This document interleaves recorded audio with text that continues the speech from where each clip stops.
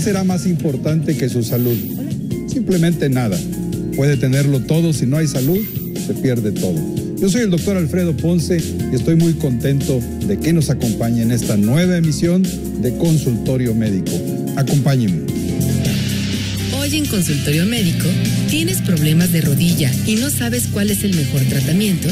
Además, ¿sabes cuáles son las principales causas de la infertilidad? ¿No sabes qué tratamiento seguir? El doctor Alfredo Ponce y los especialistas resolverán tus dudas. Comenzamos. Aquí estamos en su consultorio médico para que usted pueda tener acceso a información sobre la salud. Y en esta ocasión tengo el enorme orgullo de que nos acompañe un gran amigo, un gran profesionista, un hombre ya célebre aquí en esta región porque es un gran médico, el doctor Luis Arturo Rubalcaba. ¿Cómo estás, Luis? Alfredo, muchas gracias por la invitación. No, hombre, ¿eh? Muchas tantos años de Tantos años de conocernos.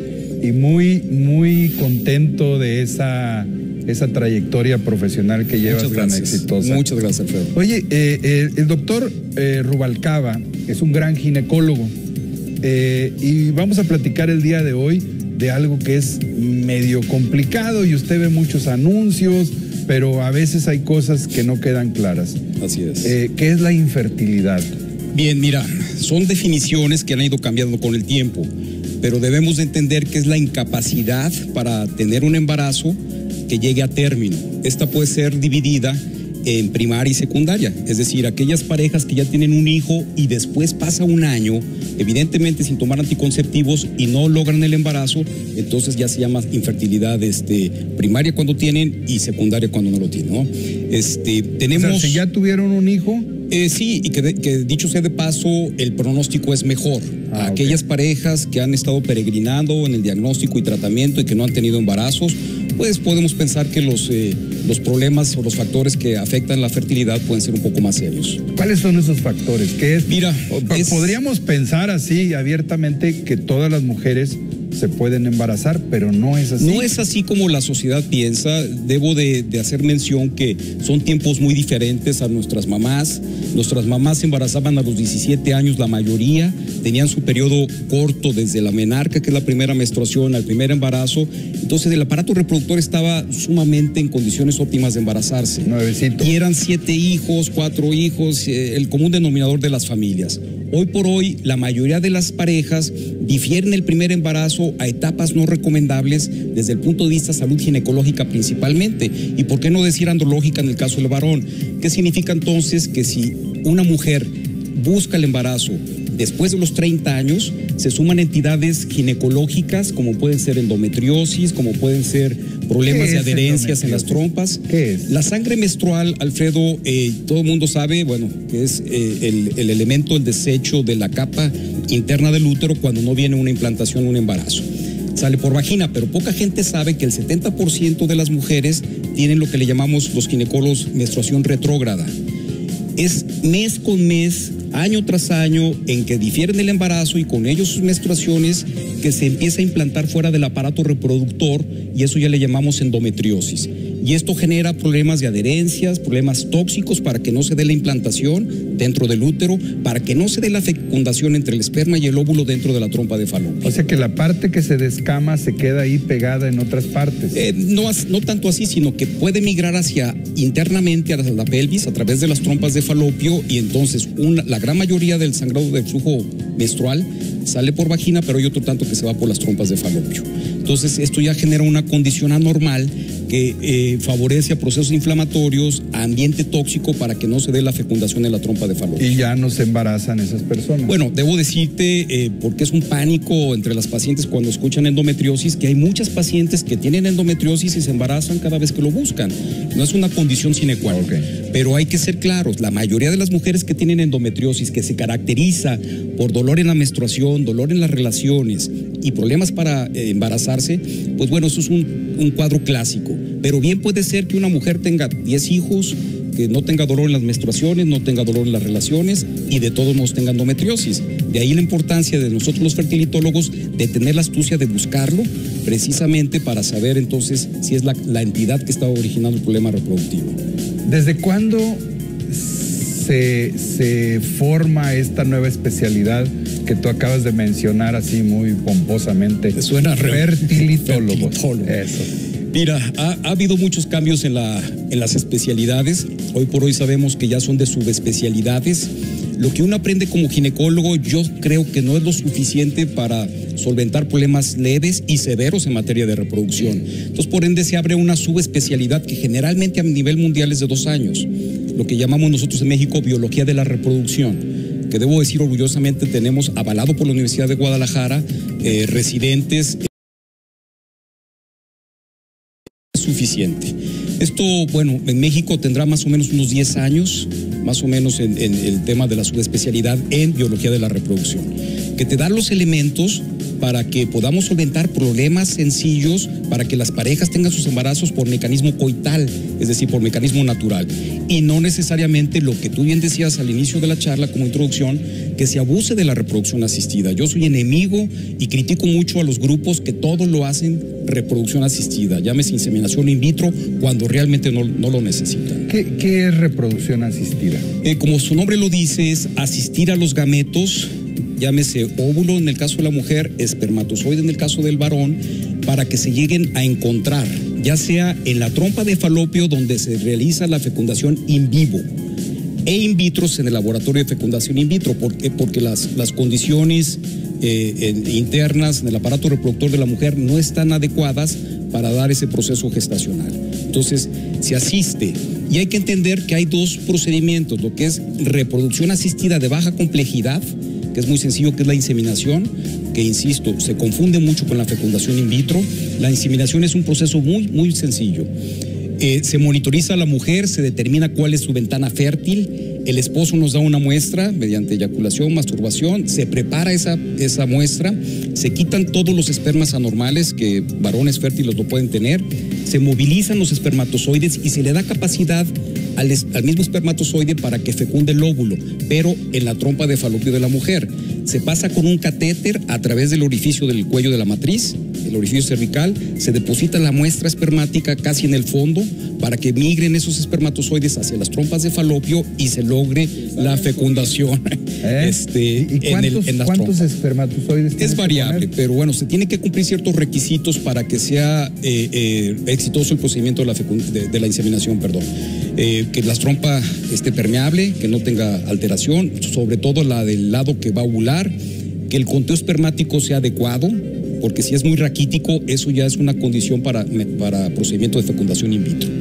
¿Sí? Entonces son dos términos diferentes. Y la fecundación in vitro o la reproducción asistida de alta complejidad es generar el, el, el embrión producto del óvulo y el espermatozoide, pero en el laboratorio de fecundación in vitro, tratando de mimetizar totalmente de imitar lo que eh, sería la trompa de falopio, es decir, los gases, el oxígeno, el CO2, medios de cultivo, para que de esta manera objetiva el embriólogo, que es el término que se le da al biólogo que tiene esa especialidad, pueda ver en el microscopio los espermatozoides, los óvulos y microinyectar inclusive el espermatozoide, tomar solamente uno, cuando la muestra es muy raquítica, que hay cada vez más estamos viendo ese problema en los varones, se toma el espermatozoide y se microinyecta dentro del óvulo para decondensar las caras genéticas y entonces generar un embrión que no se ha podido generar in vivo. Tú lo analizas, incluso es una gran ventaja porque hoy por hoy, volviendo al tema de la edad ginecológica, las mujeres arriba de 40 años generan embriones anormales y con ello riesgo de abortos o con ello riesgo de trisomía, que la más conocida es la trisomía 21, que es mejor conocida como síndrome de Down. Entonces, en in vitro, tú puedes analizar el embrión, tomar esa célula, que, que sabemos que el embrión es totipotencial, se puede desarrollar más y más células, y esa célula la, la, la analizas con una técnica que se llama PGT y te, di, te, dice no solamente el sexo del embrión, sino además que sea euploide, que sea normal, entonces se transfiere dentro de la matriz. Esto quiere decir que si usted está pensando en embarazarse y tiene arriba de 40 años, sí. es importante que vaya a consultar a un experto Sin duda. en fertilidad. Sin complicado que la mujer se embarace, tan solo por el sesgo de la edad. No digamos, insisto, que a esa edad, después de su menarca, que generalmente su primera menstruación es a los 12 años, 28 años después, ese aparato reproductor ha sufrido cambios biológicos, químicos, tóxicos, tabaco, abuso de drogas, de, tóxicos, de anticonceptivos, y entonces ya a los 40 años hay adherencias, hay endometriosis, hay miomas, hay pólipos, una serie de factores que hacen que, se, no se dé fácilmente el embarazo. Pero además debo decir que si tiene más de 40 años y se pudo embarazar por mecanismo coital, hay mucho riesgo, más del 50% de tener un aborto espontáneo y también riesgo de trisomía como el síndrome de Down. Entonces, esto es una circunstancia muy importante de un consejo profesional para que esto se pueda prevenir. Sin lugar a dudas. Ahora, eh, socialmente cada vez vemos más esta circunstancia, ya que eh, por cómo vivimos en esta sociedad, ahora las mujeres son profesionistas, trabajan, se desarrollan, se casan más tarde. Y ven pasar sus mejores años reproductivos. Y cuando ya los ven pasar, la mayoría llegan a centros de reproducción para reproducción asistida. O sea que por eso tienes lleno el consultorio. Mucho trabajo, debo decirte que como eh, equilibrar en la balanza cada vez más problemas reproductivos, hemos avanzado mucho los centros de reproducción. Si bien es cierto, estamos viviendo tiempos de contaminación, de estrés, de, malos hábitos, abuso de tóxicos, de, tabaco, todo eso, el estrés, bueno, ¿qué te digo? El estrés demerita la capacidad reproductiva no solamente de mujeres, sino de varones. Entonces, los centros de reproducción estamos eh, saturados de trabajo. ¿Cuáles son las complicaciones que puede esperar alguien que se embarazó por estos, por estos métodos? En realidad ninguna, pero hay algunos eh, procesos en los cuales uno como, como fertilitólogo tiene que tener cuidado. Para estimular el ovario, es decir, tú sabes que la mujer produce un óvulo por ciclo. Un solo óvulo estadísticamente nos da una posibilidad baja en fecundación in vitro. Sin embargo, bueno, se han estipulado dar medicamentos para sobreestimular el ovario controladamente, es decir, predecir cuándo es el momento ideal para extraer esos óvulos de los folículos. Medicinas que se utilizaban anteriormente se tenía el riesgo de un síndrome de, hiperestimulación, es decir, que crezcan los ovarios, que crezcan los folículos, derrame de líquido dentro de la cavidad abdominal. Pero bueno, eso se ha disminuido notablemente gracias a nuevos fármacos que han disminuido radicalmente esto. Eh, por ahí de los años 80 debo mencionarte que anduvo, estuvo la fobia, que si esto generaba cáncer de ovario, cáncer de mama, por la sobreestimulación de ovarios, el nivel de estrógeno alto, que pudiera afectar a cánceres hormonodependientes como es el de mama. Y bueno, ya está muy trillado, ya está bien estudiado que esto, eh, la posibilidad es sumamente remota, que lo pones en la balanza con el beneficio reproductivo y el riesgo sumamente bajo. ¿Cuál es el porcentaje de éxito en México? Mira, es una pregunta importante porque eh, dejan en el aire muchos eh, centros de reproducción que esto es una garantía. Y la verdad no, no, no tenemos ni remotamente la posibilidad divina de dar el 100% de tasa de embarazo. ¿Qué significa esto? Que un buen laboratorio, con un, buenos doctores, buena clínica, buenos equipos, estándares de control, pues deberían de andar aproximadamente 40-45% en el primer ciclo de que se embarace.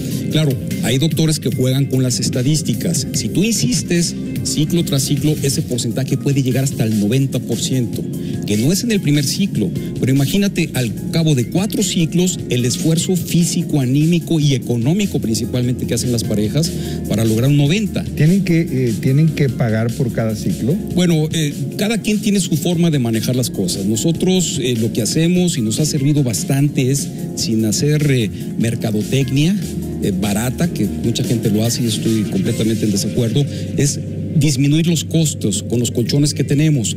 Tú sabes que cualquier procedimiento se lleva a una curva de aprendizaje. Significa entonces que hace 20 años, cuando yo inicié reproducción asistida, pues esa curva de aprendizaje teníamos muchas eh, eh, mermas en, agujas, en catéteres de transferencia de embriones, de, inseminación, de medios de cultivo. Y hoy por hoy, sin escatimar, pues se optimiza y eso lo aprovechamos para apoyar otras parejas o estas mismas parejas que no se han podido embarazar para bajar significativamente los costos. De esta manera subes las posibilidades gestacionales. Entonces, estadísticamente, ciclo tras ciclo y haciendo cambios, porque un gran error de la, gente que hace reproducción es hacer lo mismo, lo mismo, lo mismo, estás topando con pared, tenemos que hacer cambios en el espermatozoide, en los óvulos, en la forma de estimular el ovario, eh, qué sé yo. Y bueno, te estoy hablando de reproducción asistida, pero bueno, para nosotros, y esto nos ha dado muchísima credibilidad, es buscar las condiciones naturales para que se puedan embarazar como Dios manda. ¿Qué significa esto? parejas en las cuales la mujer tiene buena edad ginecológica para nosotros, menos de 38 es buena edad, que tengan buena reserva de ovario, porque hemos encontrado mujeres de 25 que ya están casi en menopausia precoz. Eh, con estudios muy ilustrativos como es la hormona antimuleriana, pues nos damos prisa para que se dé el embarazo.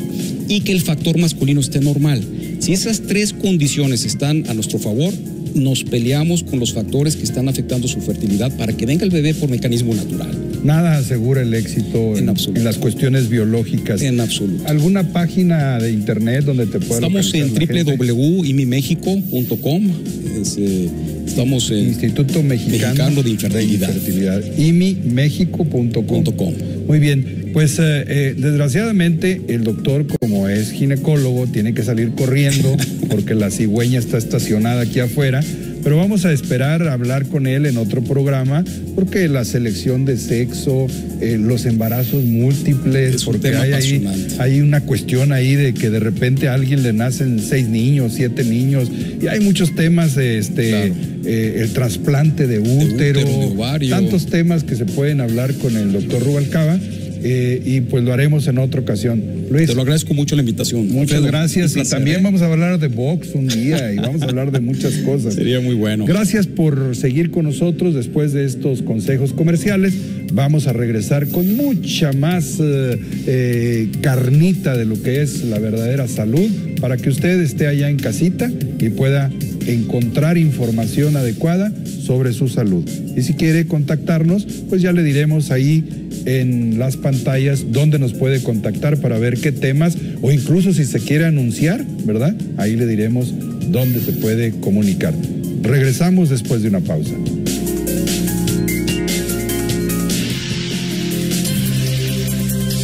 ¿Sabías que la edad ideal para quedar embarazada es por debajo de los 35 años? En la actualidad, se disponen de medios para el cuidado y control de la embarazada y el feto que permiten la evolución normal de embarazos por encima de los 40 años.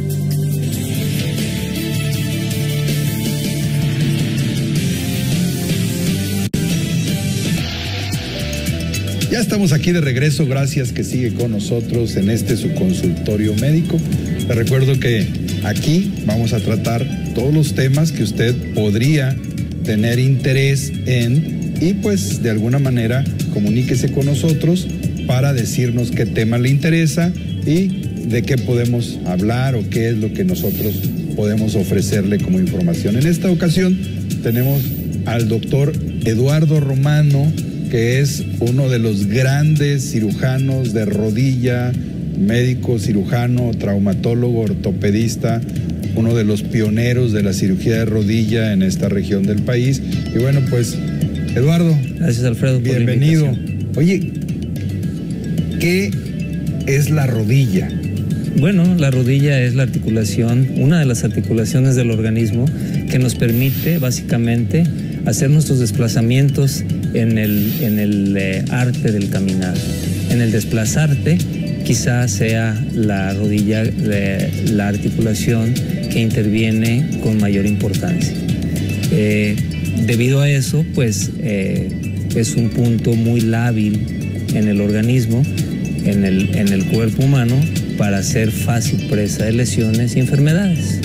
Ese es básicamente su, su contexto general. Es muy compleja anatómicamente. Es compleja, la rodilla es una situación compleja, pero como todo en el organismo, funciona con la perfección de la, del mecanismo de un reloj. Es tan perfecta como cualquier otro, cualquier otro eh, órgano del organismo.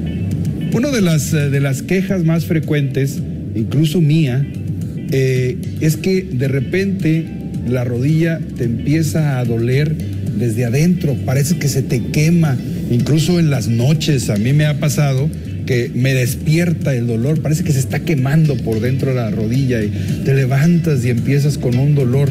Eh, ¿Qué son esos síntomas?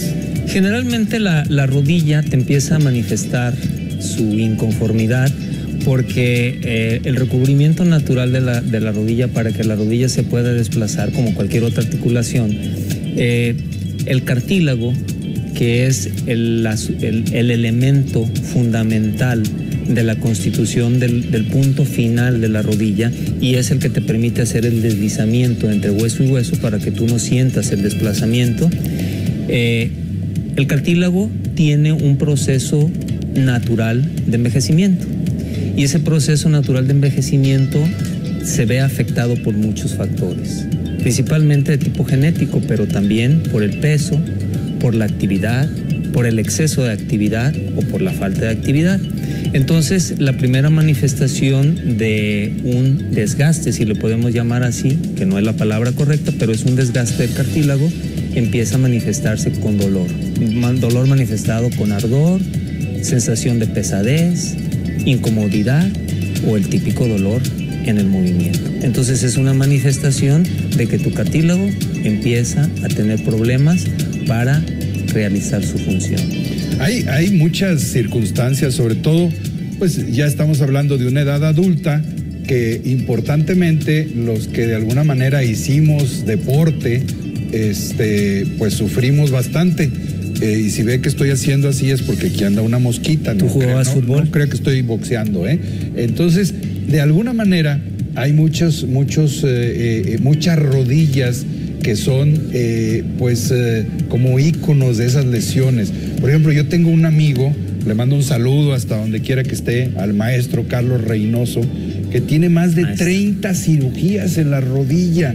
Este, ¿Qué pues con eso, como decimos aquí en Jalisco? O sea, tantas cirugías, ¿por qué tanto? ¿Qué les hacen? Eh, es un caso definitivamente raro, ¿no? Pero a final de cuentas sí existe. El problema es que el, el manejo del cartílago como un elemento desgastable es un manejo complejo. Y este manejo complejo tiene que estar exclusivamente al cargo de personas que se dediquen y que entiendan la patología del cartílago, sus manifestaciones clínicas, su, manejo, su recuperación y su pronóstico. Entonces, en algunos casos, desafortunadamente, el paciente puede ser atendido por alguna persona que no tiene la suficiente experiencia en el manejo del cartílago y quizá sea eso lo que motive las múltiples recaídas o las nuevas visitas al médico por el mismo problema. Quizá no se ha resuelto. Todo. Yo he visto que antes en la historia, no sé si todavía se haga, entraban y le hacían hoyos nada más al cartílago como para ver si prendía. Y, he visto también que hay muchas sustancias que se inyectan. Mi gran amigo, eh, mi negrito querido Roberto da Silva, exjugador de los Leones Negros, con quien eh, me tocó jugar muchas veces, le inyectaban un, aceite de tiburón, decía él, en la rodilla, porque también estaba muy afectadito. Eh, ¿Hay tratamiento o nada más es paliativo? El, ir quitándoles las molestias hay poco a poco. Tú lo acabas de decir, mira, una vez que inicia el, el proceso de deterioro del cartílago, el cartílago es un tejido muy especializado, entonces no tiene desafortunadamente una capacidad de autorregeneración, lo tiene muy limitado. Entonces, una vez que empieza el deterioro del cartílago, no existe absolutamente ningún medicamento ni ningún método que lo pueda detener.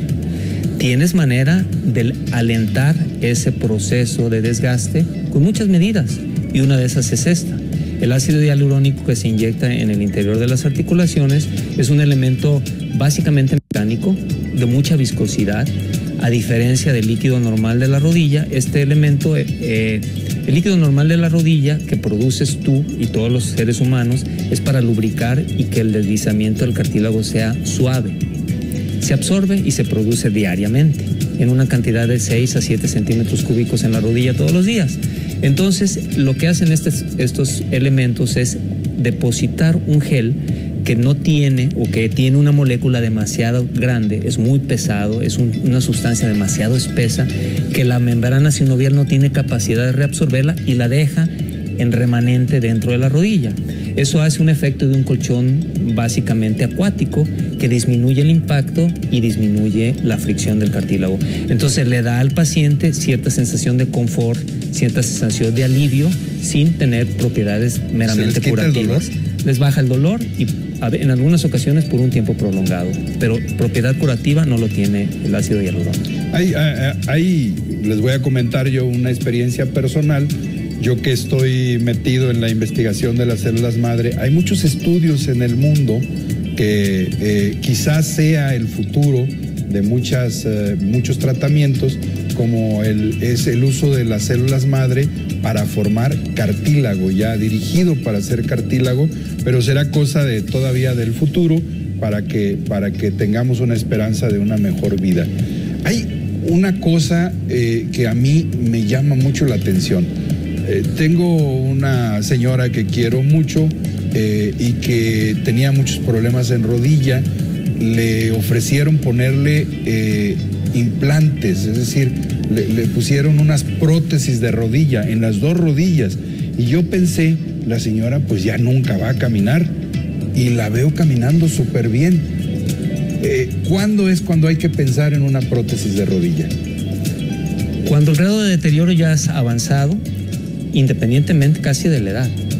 Esta, ha estado estigmatizado este tipo de procedimiento, las prótesis, delegado única y exclusivamente para los pacientes mayores, pacientes viejos. En realidad, cada vez afortunadamente ese concepto se ha ido cambiando y con más frecuencia ves que una vez que encuentras un deterioro suficientemente importante que influya en la vida diaria del paciente, en sus actividades habituales, cotidianas, el ir a la iglesia, el caminar en un centro comercial, el hacer sus labores de su casa.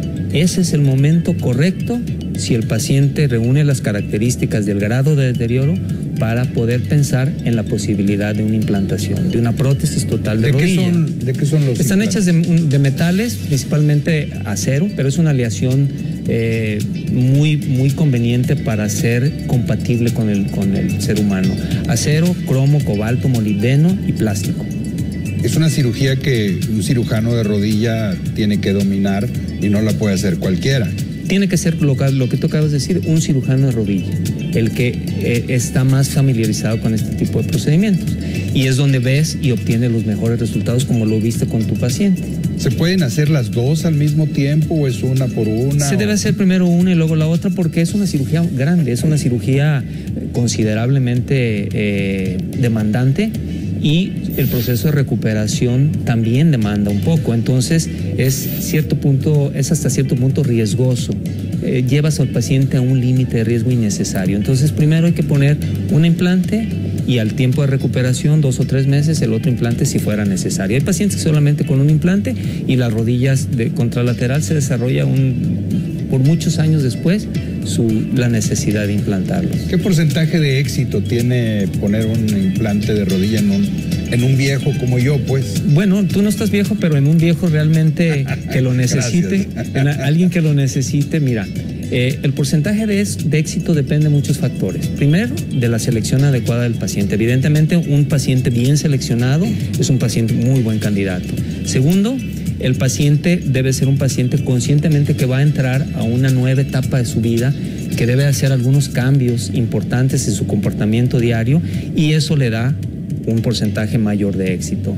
El seguir las recomendaciones del médico después de la cirugía, el control de peso, el control de la actividad física, el diversificar su actividad física después de la, de la cirugía, todo eso va abonando a favor del pronóstico. Ya no puedes correr, ya no puedes hacer ejercicio. Puedes hacer ejercicio limitado y algún tipo de ejercicio no tan limitado. Todo va a depender el, el grado de, de, de, tu edad y el grado de recuperación que tengas. Pero sí, sí se puede hacer ejercicio. Ah, Digo, no te puedo decir que puedan volver a jugar fútbol y que puedan hacer eh, maratones, pero pueden jugar actividad de tipo gimnasio, nadar, inclusive algunos trotar. Hay quienes inclusive vuelven a correr distancias cortas. Todo va a depender de la edad. Pero sí se puede. ¿Complicaciones de estas, de estas cirugías? La principal complicación es que los pacientes en el posoperatorio, y esa es la número uno, en el, en el posoperatorio los pacientes se inflaman, ahí tienen congestión en su rodilla, entonces les molesta el, el moverla el organismo inmediatamente reacciona formando fibrosis y eh, la complicación que podemos calificar como número uno es la falta de movilidad posoperatoria debido a una eh, falta de movilidad inmediata. Esa es la número uno. Ya eh, complicaciones inherentes a la propia evolución del paciente, el aflojamiento del implante a muy largo plazo, eh, el dolor mm, permanente por sinovitis reactivas que permanecen por mucho tiempo en el paciente y básicamente son complicaciones hasta cierto punto evitables. ¿Hay que cambiar ese implante? Si, si se llega a aflojar con el paso del tiempo, y el aflojamiento se da por varios factores, pero si se llega a aflojar, se puede reimplantar. El aflojamiento, y qué bueno que tomas el punto, el aflojamiento no es una situación a lo que nosotros le tememos siempre y cuando el paciente lleve un control posoperatorio semestral, anual o bianual correcto, con un control adecuado de su mineralización de sus huesos y de su actividad física. Es muy difícil que se afloje el implante, pero cuando se descuidan, esa es una segunda complicación. Oye, ¿y, qué tan cierto es de que estos señores cuando pasan por los aeropuertos, aeropuertos pitan? Es muy probable que es, es, real, es real, porque cuando el, panículo de pozo es delgado, lo capta el, el, receptor de metales y sí puede pitar. Sí es cierto. Y si el paciente es un poquito con mayor cantidad de grasa, a lo mejor no lo, no lo no suena. esta cirugía, eh, doctor Eduardo Romano, esta cirugía está disponible en los sistemas de salud pública, es decir, en el IMSS, en el ISTE, ¿le otorgan los implantes, las prótesis a los pacientes? Sí, sí, se los otorgan completamente, sí. Era tanto que le pegamos nosotros a esos institutos. Y... no, sí se los otorgan, desgraciadamente ahí eh, pues ya tú sabes, el sistema de salud nacional depende de licitaciones, depende de esperas, depende de turnos, entonces los pacientes aunque son eh, seleccionados para ser implantados, muchas veces pues tienen que hacer su turno de espera. Eh, los implantes que compran las instituciones generalmente compran, adquieren el implante que quizá esté más accesible económicamente y entonces llegan lotes grandes de implantes y en el momento que se acaba viene otra licitación, a veces vienen otras marcas y van empezando a cambiar, pero eh, el sistema de salud nacional lo proporciona. Ah, qué impresionante.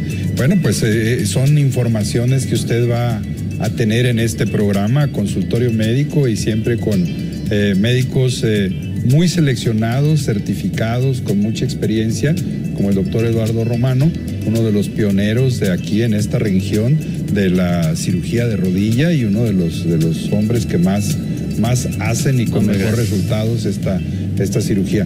¿Tienes algún lugar donde te puedan localizar? Sí, eh, estoy en la página www.romanosab.com. ¿Romano? Romano C Z A V de Romano Zavala. De Romano Zavala, esa es mi, mi, mi, mi página. Y este, mi consultorio, puedo en Boulevard Puerta de Hierro 5150, en el segundo piso. El teléfono es 3848-5400. Cualquier duda, cualquier comentario, cualquier eh, inquietud, ahí se los podemos ayudar. Vamos, vamos a seguir platicando de temas de rodilla porque, aunque usted no lo crea, es un gran porcentaje de la población el que sufre de estos problemas. Entonces, pues vamos a, seguir platicando de, de, este tema. Por lo pronto vamos a ir a un corte comercial, vamos a regresar porque todavía tenemos más aquí en consultorio médico. No se vaya, regresamos prontito.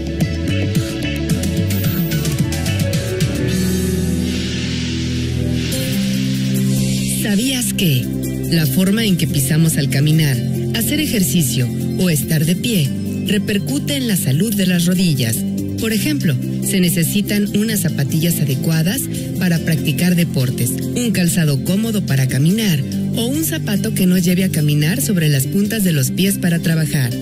Los tacones y las plataformas son enemigos íntimos de las rodillas, no lo olvides. Para prevenir el dolor de rodilla es importante. Evita el sobrepeso, Así tus rodillas sufrirán menos al soportar la carga y desplazamiento del cuerpo. Fortalece los músculos de la parte delantera y posterior de la pierna. Conseguirás dar estabilidad a la articulación de la rodilla y protegerla.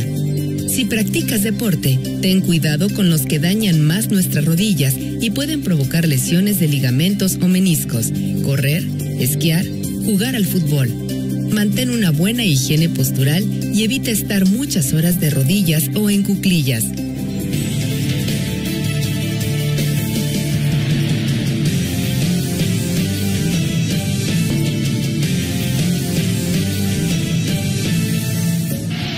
Ya regresamos aquí a su programa Consultorio Médico, aquí en Televisa.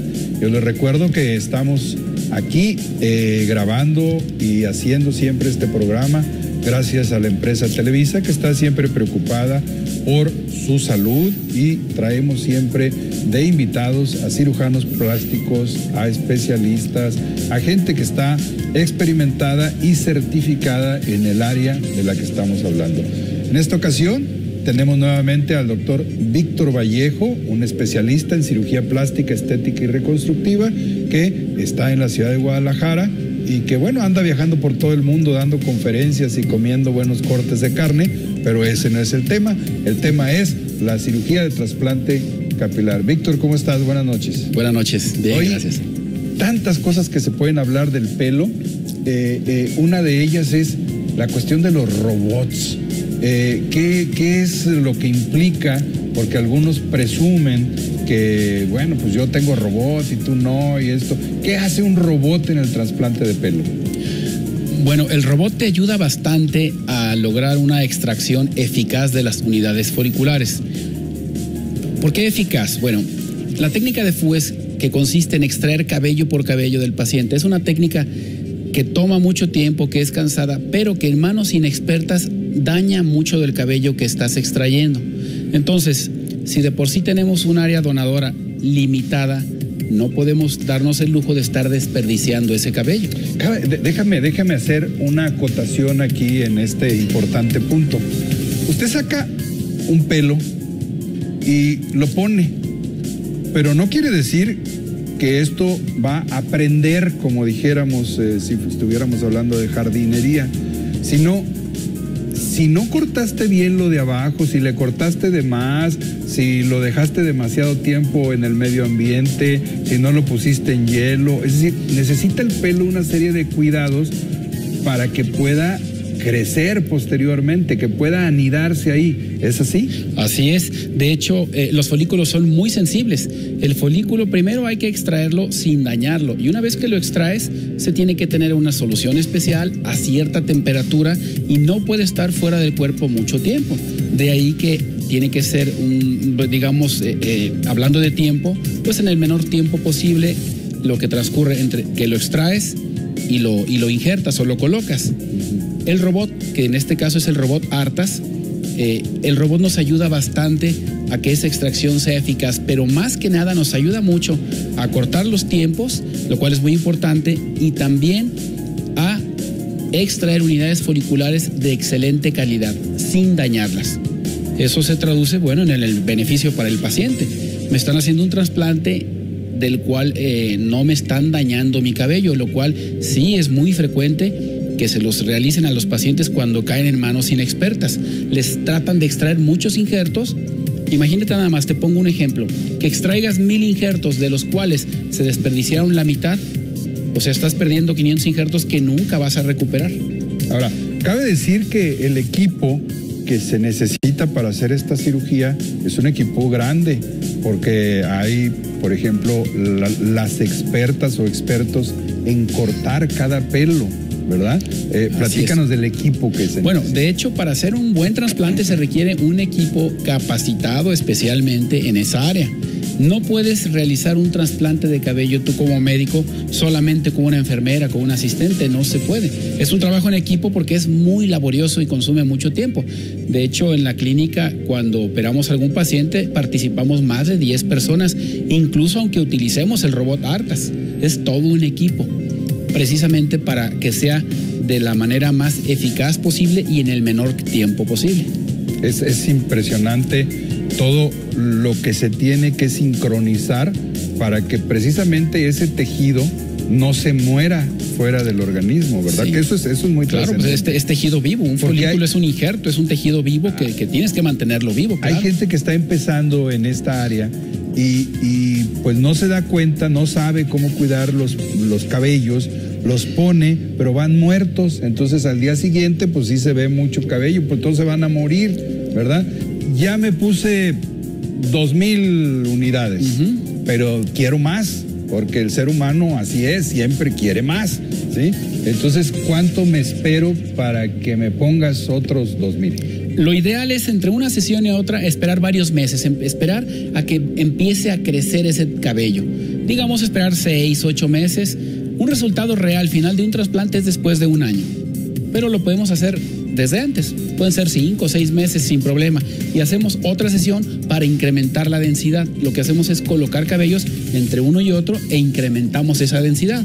O en ocasiones ya colocamos en una área el paciente quedó satisfecho y dice, bueno, funciona, me siento a gusto, mejoré, ahora quiero más o quiero en otra área. Hacemos otra sesión y nos vamos a otra área para cubrir nuevas en el área del fraile. Exactamente, sí. Yo siempre recomiendo la parte frontal, que es lo que más ayuda. Y ya después la región de la coronilla, que es la parte posterior, sí.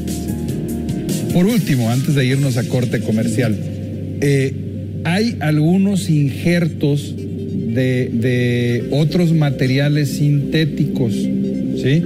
¿Qué nos puedes platicar de eso? Hay unas fibras, incluso las venden en el mercado a los cirujanos plásticos.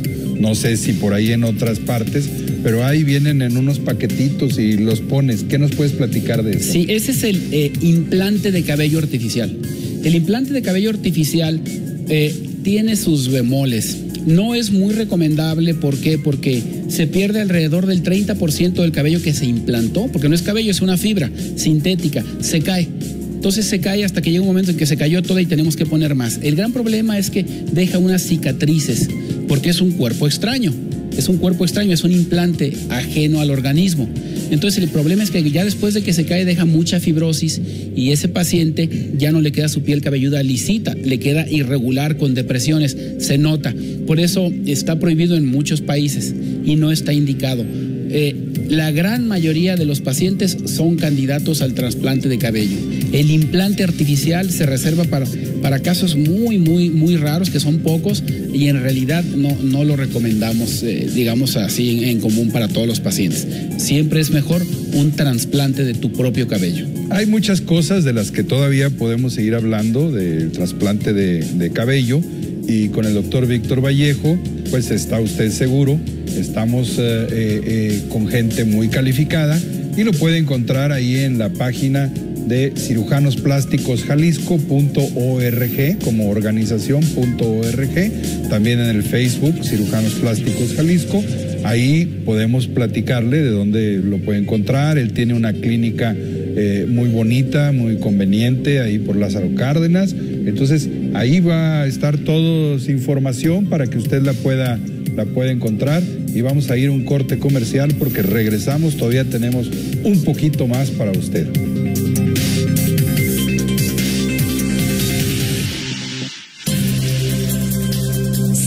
Que, a pesar de que la calvicie siempre se ha considerado más un problema de salud de los hombres, el injerto capilar no es un tratamiento exclusivo para ellos?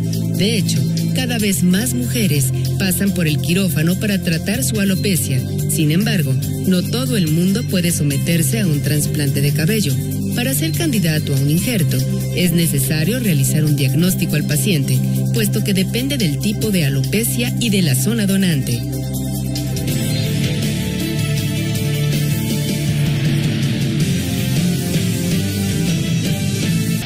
Estamos aquí de regreso, gracias que sigue con nosotros. Este es su consultorio médico aquí desde Televisa Guadalajara para todo México y el mundo, desde aquí el occidente del país, hablando de lo más importante que puede tener usted, que es su salud. Así es que eh, estamos aquí para servirle. Si tiene usted algún tema importante que quiere que tratemos, eh, manifiéstenlo, díganos en dónde podemos ayudarle nosotros. Y vamos muy pronto a ofrecerle algunas eh, pues cirugías a gente que lo pueda necesitar como parte del apoyo de eh, el Colegio y Sociedad de Cirujanos Plásticos, Estéticos y Reconstructivos de Jalisco. Estamos pensando apoyar a la gente para reconstrucción mamaria y para eh, los que han perdido mucho peso, los que, lo que se llama cirugía reconstructiva post pérdida masiva de peso. Síganos porque va a haber muchas cosas en el futuro aquí con nosotros. Y bueno, pues para concluir este programa con el doctor Víctor Vallejo, con el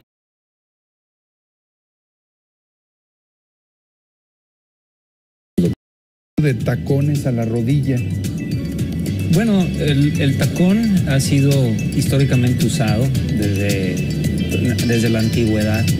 Y sí tiene una afectación porque alteras la mecánica evidentemente de la marcha y del, del soporte de peso. Pero en realidad no es un factor determinante Para la rodilla. para la rodilla que tú digas esto gracias al uso de tacones, yo estoy mal de mi rodilla. No, no, es más un mito. Mecánicamente sí se altera, pero la alteración y la repercusión es mínima. Doctor Víctor Vallejo, ¿cuáles son las razones por las que un paciente puede perder el pelo que le trasplantaron?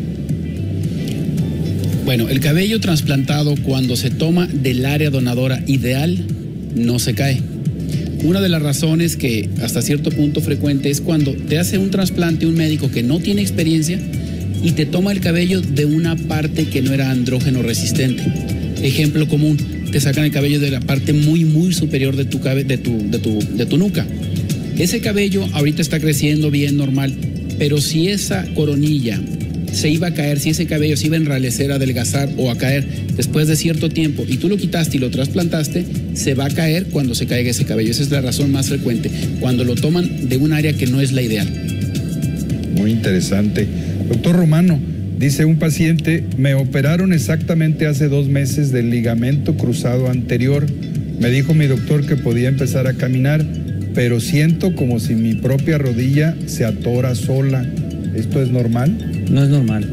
Eh, aunque pueda ser, el, proceso de rehabilitación de un ligamento cruzado anterior es muy dinámico. Tú puedes empezar a apoyar el primer día después de tu intervención y la mecánica de tu, de tu movimiento debe ser completamente eh, libre. No debe haber ningún elemento que te atore, no debe de haber ningún elemento que te trabe la rodilla, ni mucho menos sentirla como la sentías antes insegura. Entonces ahí debe estar pasando alguna situación que habrá que corregirlo a la brevedad posible. Oye, hablando de ligamentos, qué interesante esto. Hace algunos años los eh, jugadores de fútbol se retiraban por los ligamentos. Yo recuerdo haber tenido la, la oportunidad, estoy nuevamente peleando con moscas, ¿eh? Eh, eh, haber tenido la oportunidad de hacer eh, durante mucho tiempo programas de radio con el abuelo del Chicharito, ¿sí? Don Tomás Balcázar. Y él se retiró muy joven por un problema de ligamentos, ¿sí? Sí. Hace algún tiempo un jugador, eh, Danilo Turcios, que pues era un jugador que de alguna manera teníamos una relación contractual, se lesiona el ligamento y me dicen que le van a poner un ligamento de cadáver. Sí. Eh, eh, yo dije, no, pues eso está mal. Y resulta que a los seis meses estaba jugando. Ligamentos de cadáver se usan ahora. Sí, efectivamente se utilizan hoy, ya tiene mucho tiempo utilizándose esta técnica. Eh, las eh, técnicas de preservación, toma, cuidado, transportación y aplicación han cambiado, evidentemente, conforme va avanzando la tecnología. Los cuidados de los ligamentos eh, cada vez son mejores. Entonces es un método muy recurrido, es un método que a nosotros nos facilita, nos, disminuye el tiempo quirúrgico, pero quiero decirte una cosa muy importante aquí para que quede bien informada tu te- teleauditorio, que no existe estadísticamente una significativa diferencia entre utilizar un injerto cadavérico y un autoinjerto. Los resultados son exactamente ¿De dónde lo tomas? de- se toman de varios lugares, se pueden tomar de diferentes lugares. Eh, lo más común, la técnica más usual estándar, son los tendones de la pata de ganso. Se, se utilizan tanto el semitendinoso como el recto interno y se doblan cuatro para hacer un injerto completamente sin hueso ¿Y pueden jugar fútbol? a los seis meses. Interesante. Eh, doctor Vallejo, eh, ¿qué cuidados tengo que tener para el pelo trasplantado? No me lo puedo lavar, me puedo asolear, eh, me puedo poner tinte, no me puedo poner gorra. ¿Cuáles son los cuidados? Bueno, los cuidados básicamente son los primeros días posteriores al trasplante. Eh, quedan unas como costritas que no hay que tallarlas porque se pueden desprender los injertos. El cabello trasplantado una vez creciendo es un cabello que no requiere de ningún cuidado. Va a crecer toda la vida y es un cabello más resistente que el que alguna vez tuvimos ahí. Porque este es un cabello que es andrógeno resistente y que ya no se va a caer. Ah, pues Entonces, prácticamente ningún cuidado. Yo a los pacientes les digo, ya te creció tu cabello trasplantado, disfrútalo. Después de un año, Sin problema. En ¿Cómo cuanto es? al tercer, cuarto mes que empieza a crecer, ya te lo puedes teñir, pintar, traer corto, largo, como sea, y no le pasa Como nada. si ya fuera la bombita de Andrés García. Así, tal cual. Disfrútala. disfrutar. Bien, pues muchas gracias. Tenemos muchas preguntas. Gracias por su compañía en este programa que está hecho para usted, tratando de darle información certera de los expertos y de la gente certificada en las áreas diferentes de la medicina. Yo soy Alfredo Ponce, les recuerdo que nos puede encontrar en las páginas de internet romanosap.com. Así. Nada más. Y al doctor Vallejo y al doctor Alfredo Ponce nos puede encontrar en eh, cirujanosplásticosjalisco.org. Muchas gracias por su atención. Lalo, Muchas gracias. un placer. Placer Pórtate bien. Claro Sí. sí. Víctor, pórtate bien, Gracias, amigo. igual. Ya no comas tanta carne. ¿eh? Bien, muchas gracias.